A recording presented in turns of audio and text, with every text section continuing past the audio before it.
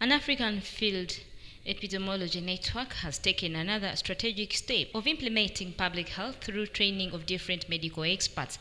This is evidenced in the new six caliber of professionals with skills to monitor, detect and report all preventable diseases which cut across the human and animal sector.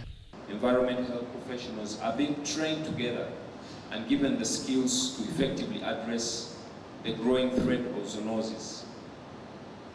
Previously, different professionals responded to disease outbreaks differently. For example, physicians, environmentalists, veterinarians, anthropologists, laboratorians, and others all sought separate answers to and responded in isolation to diseases.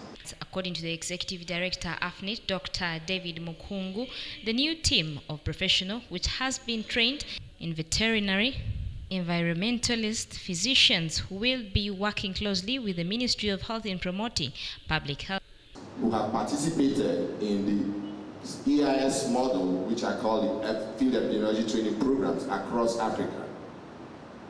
But they not only are physicians, but they're made up of environmental scientists and, and uh, colleagues from the veterinary group, which is uh, the Ministry of Agriculture. And this team, which we present to you today, have worked together from Uganda and in Kenya. Let me point out that over 60% of infectious diseases affecting humans originate from animals. And therefore, we need public health experts that can address these threats as well. I'm therefore confident that the implementation of this fellowship is timely. I cannot overemphasize the danger that is caused by zoonoses such as anthrax, Ebola, and, and rabies.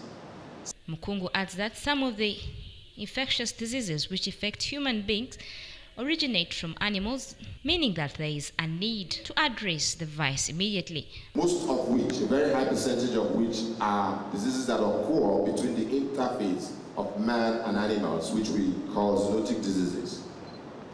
Touted as a model to begin to bring not just physicians, but to bring all dis disciplines that are involved with healthcare, the veterinarians, the uh, epidemiologists, and those who take care of our environmental scientists.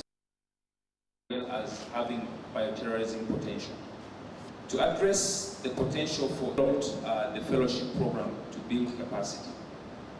Under this Pioneer One Health training program, we have built the human capacity to address zoonoses through the six fellows who are graduating today.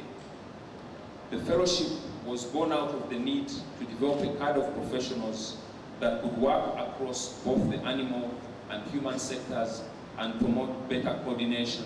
The six medical experts who have undergone through a one-year training to handle emergency to handle emerging epidemic threats have been drawn from Uganda and Kenya. Ebola, anthrax, rabies, fever, among others, are some of the zoonoses which affect both human and animals.